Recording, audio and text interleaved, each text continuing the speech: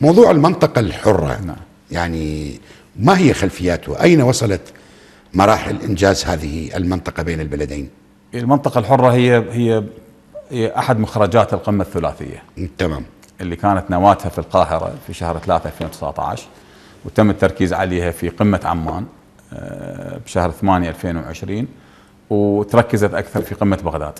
آه، اللي حصلت في نهاية شهر 6 2021 من ضمن مخرجاتها هي ترجمة ترجمة القمم واللقاءات والزيارات ما بين المسؤولين العراقيين والأردنيين أو العراقيين الأردنيين والمصريين إلى مشاريع على أرض الواقع. من ضمنها المنطقة الصناعية. وأنا حضرت حضرت اجتماعات رسمية في عمان ما ما بين الوزراء المعنيين وزير الصناعة والمعادن العراقي وزير الصناعة نعم. والتجارة والتموين الأردني. قطعه أشواط كبيرة.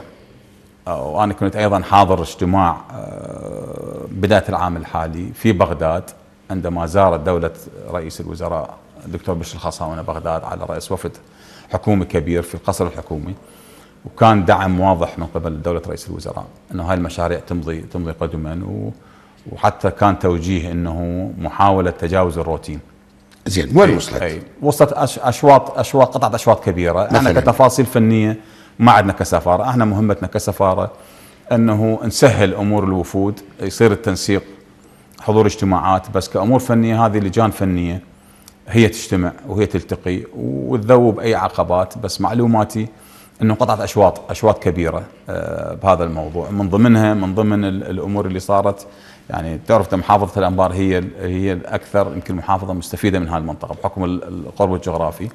فمحافظة الأنبار يعني خصص مبلغ آه، من موازنة المحافظة إلى إلى موضوع موازنة الجدوى آه، للتسريع بها والعمل على إنجاحها. زين بقية مقررات مؤتمر نعم. القمة الثلاثية اللي أخذ ثلاثة اجتماعات على مستوى القمة من القاهرة إلى عمان إلى بغداد، الآن متابعة التنفيذ، هسه نتحدث عن المكان الذي أنت فيه، نعم. يعني هل هنالك لجان تعمل؟ هل هنالك مراقبة للأداء؟ ما هي الأشواط التي قطعتها هذه اللجان خصوصا في عمان، الوفود التي تأتي من بغداد وتلتقي؟ نعم.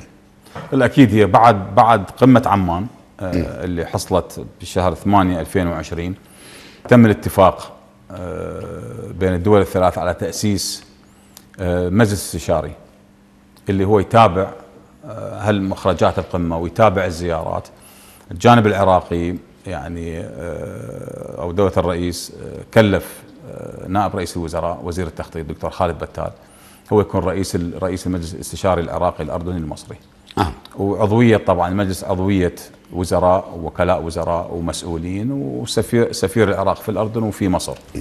مهمة هذا الفريق أو هذا المجلس هو متابعة الزيارات، متابعة مخرجات القمم، مخرجات الزيارات ورفعها بتقارير إلى إلى إلى القيادة العراقية للبت بها.